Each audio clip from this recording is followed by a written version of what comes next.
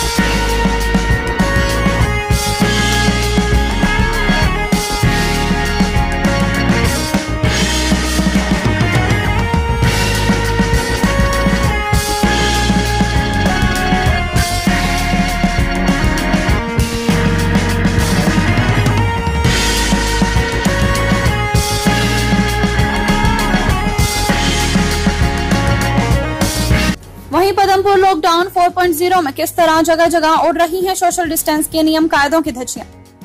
सब्ज़ी मंडी से लेकर अन्य बाजारों में अंधेर, नगरी, चौपट राजा वाली का हवत चरितार्थ हो रही है। मुख्य बाजारों में भारी वाहनों का प्रवेश बेरोक टोक हो रहा है, जबकि सब्ज़ी मंडी में बड़ी संख्या में लोगों की भीड़ कोरोना संक्रमण को न्योता दे रही है। किंतु पुलिस को चाय व सब्ज़ी की रेडियाँ लगाने वाले, नियम तोड़ने वाले दिखाई देते हैं। कोरोना कहर से सबसे अधिक प्रभावित गरीब और मध्यम वर्गीय परिवार के लोग लाचार, बेबस होकर अपने परिवार का पालन पोषण बड़ी मुश्किल से कर पा रहे हैं। कईयों के रोज़गार छीनने से भूख मरने की नौबत भी आ रही है। पुलिस का भय इनकी नींद हराम कर रहा है। छह बजने से पहले ही इन्हें खदेड़ने का कार्य शुरू हो जाता है, जबकि काफ़ी ऐसे प्रतिष्ठान हैं जिनकी गतिविधियाँ पीछे के दरवाजे से देर रात तक चलती हैं। सरेआम लॉकडाउन की धज्जियाँ उड़ाने वालों पर मेहरबानी करना खेदजनक है। यदि गरीब पर पुलिस का डंडा चलेगा तो उनका घर बार कैसे चलेगा और देश की अर्थव्यवस्था पटरी पर कैसे आएगी? इस पर भी प्रशासन को ध्यान देना चाहिए। वहीं व्यापार संगठनों में प्रतिष्ठान खोलने को लेकर असमंजस की स्थिति बनी हुई है। उपखंड अधिकारी के नए दिशा निर्देशों का इंतज़ार कर रहे हैं, जबकि जिला मुख्यालय पर लगभग सभी दुकानें खुलने के समाचार हैं।